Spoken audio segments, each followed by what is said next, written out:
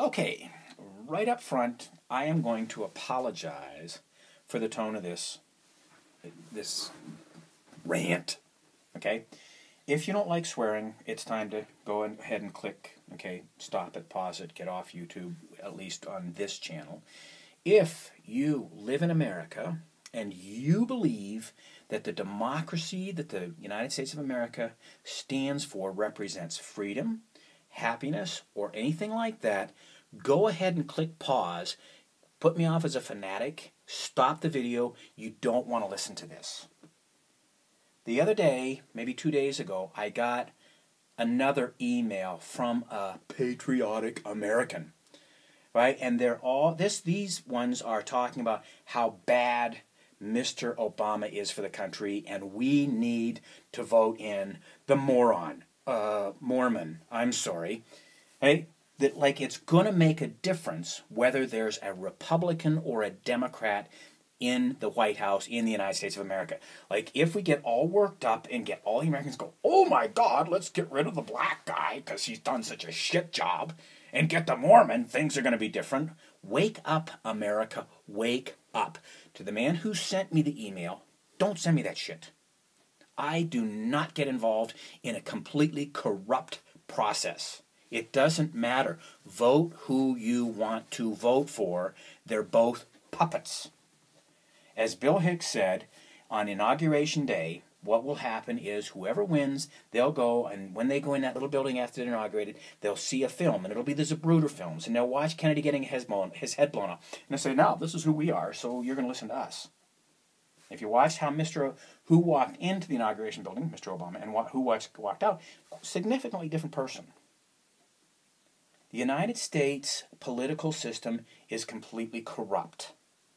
Do not send me your personal political bullshit candidates and why you back them because I think they're both assholes. I think they're corrupt. I don't think they represent freedom. I don't think they represent the happiness of the American people. A friend of mine said when there's a major event, like a high school shooting or an attack on an embassy, he said, watch the news closely. And so the last time there was, and I don't remember the event, I'm sorry, I apologize to all the people who were involved in it that, who were innocent and got hurt stuff. But on that day, the Obama government voted $600 billion in what they call defense spending, which what I call is offense spending. Okay? The United States spending $600 billion on offense spending to make their drones to drop bombs on innocent babies.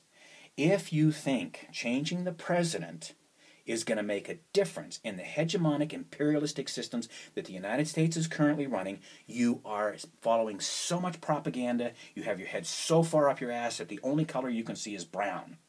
I don't mean to be judgmental. Hmm, sorry, I guess I am. If you believe in that system, read some books. They're, they're, they've got these hard covers. Here's an, well, I'm not going to show that one, so I don't want you to, um, oh, here, here's one here I'm, i want my son to read. Okay, they've got these covers on them and then these pages in them. Right, and there's there's letters, and they're called books, and you can get them on. I've got the uh, Kindle on my iPad now, but read, read particularly books by Noam Chomsky, who's had death threats, who's talked about the United States hegemonic, uh, imperialistic ways for the last, I don't know, 20, 30, 40 years has he been writing? Don't send me your political bullshit. Richard, I'm putting this in just for you. I heard that the acronym for war, which it's not an acronym, I know, it's like fear, right, is want another Republican. I hope you're at least chuckling with that. I just made a little, little chuckle. But please, whether Obama gets back in or, what's his name? I know he's a Mormon. Oh, Romney. Mitt Romney. There, there's not a political animal. His dad was governor of Michigan. He's a political animal. They're, they're reptilian by basis. They kill or be killed. They kill innocent people, and they represent you. It doesn't matter which one. Don't tell me what a bad job Mr. Obama's done. He has put 600 billion of your dollars, your tax dollars, which could go to education.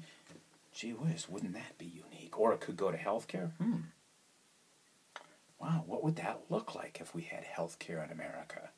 It could go to feeding hungry people. Hmm, 600 billion.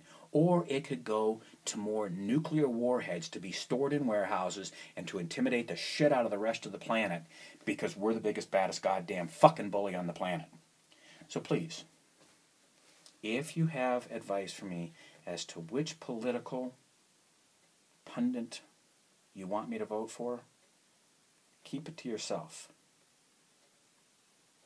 Okay, Ike Eisenhower said, when the military industrial complex takes over this country, our country is lost. That's a paraphrase. Our country's lost. It doesn't matter whether we have the Mormon or the nigger. Sorry. They're both the same. They're both the same card. They're both the same people until there's a complete reform to the democratic system. When billionaires and millionaires quit being president and being paid by the powers that be, it's going to remain the same. So if you're engaged, if you want to believe that one power is going to be different than the other, knock yourself out, please. But don't send your bullshit to me. Thank you very much. Boy, that felt good. Have a fun day. www.mic Peak Performance.